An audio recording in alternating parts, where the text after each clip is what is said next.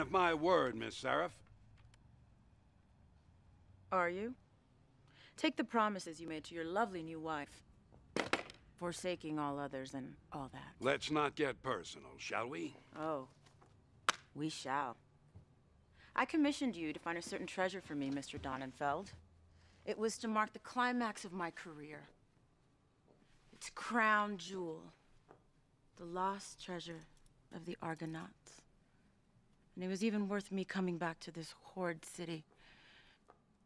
Just to touch it, to hold it, to have it be mine. The shiny thing to end all shiny things.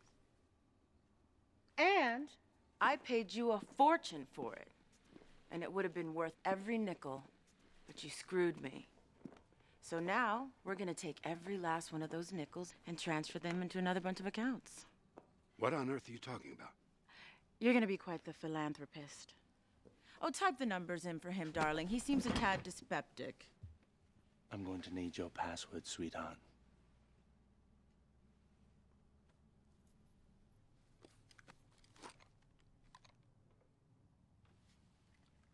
All right. All right. It's Robin. R O B I N, like the bird. Or like the kid sidekick. You know, the one with the cute little tights, the tight little derriere. It's going through. Transfer complete. Why the devil are you doing this to me? You sold me out. I didn't have any choice. Imagine my surprise when I show up at the drop point and ran smack into the octopus. I mean, what are the odds of that? Unless you sold the Argos treasure twice, making a perfect ass of yourself. A perfect ass.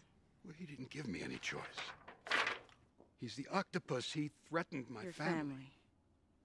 Take a good look at those pictures. They'll reach your family and every news service on the planet unless you render them irrelevant. At least die bravely, rodent.